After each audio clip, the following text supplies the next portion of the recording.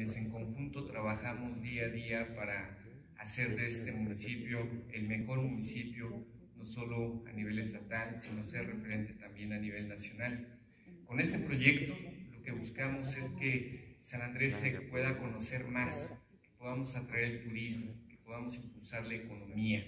Hoy son 20 puntos que son muy importantes, más los establecimientos que han colaborado en la ejecución de este proyecto